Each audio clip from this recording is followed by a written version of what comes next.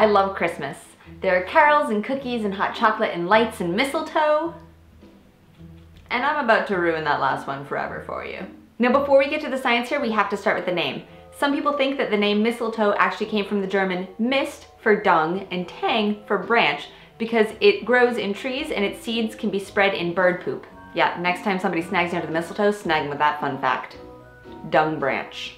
So mistletoe lives in trees and it's a parasite, so it actually pulls water and nutrients from those trees. However, it does get some of its food from sunlight through photosynthesis, which means that it's actually only half a parasite or hemiparasitic. However, if there's enough mistletoe living on a tree, it can actually stunt its growth, or if the infestation is large enough, it can kill it. Okay, super cool tangent. So this idea of a parasite killing its host actually leads us to a slightly different concept of parasitoids.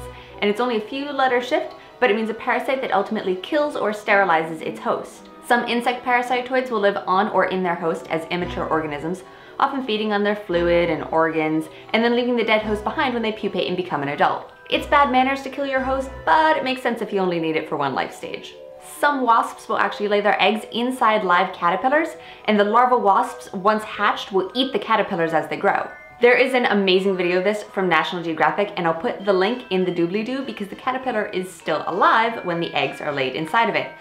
And it's still alive when the larval wasps hatch and start eating around its organs.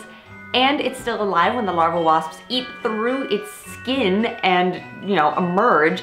And it is still alive as the larval wasps begin to pupate and it will actually protect the larval wasps that have just eaten through its skin. And it's crazy and little creepy and awesome. Nature is freaking cool.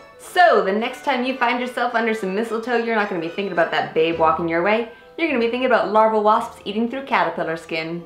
You're welcome. So let's circle back around to mistletoe. Mistletoe has been described as a keystone species. A keystone species is one that has a disproportionately large impact on its environment relative to its abundance and can also help maintain the structure and integrity of an ecological community. The name comes from the architectural term for the keystone of an arch. It's a small wedge-shaped stone added right at the top of the arch, it's added at the end, and it locks all the other stones in place. Without it, the arch would fall. Mistletoe grows year-round, constantly producing leaves, flowers, and berries even when other plants have stopped. This means that it's a constant food source for foraging animals in what might be an otherwise barren landscape. A researcher in Madagascar found that lemurs use mistletoe as a type of fallback food when other plants and trees have started holding back and conserving their resources and stopped producing fruit. This ability for mistletoe to continue growing during drier seasons when other plants are holding back and conserving their resources is probably due to its hemiparasitic nature as it can continue to steal water from its host plant.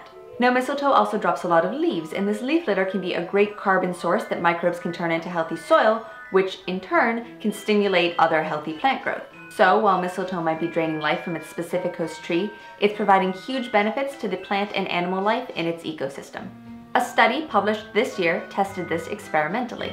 The researchers looked at three different areas. Areas where there was no mistletoe, areas where there was mistletoe, and areas where they removed mistletoe.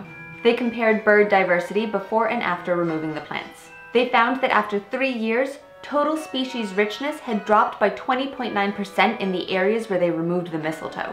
Areas where they didn't touch the mistletoe had a slight increase in species richness, and areas that never had mistletoe to begin with had no change. A 20.9% drop in total species richness is a big deal. That's a small plant making a big difference. That's a keystone species.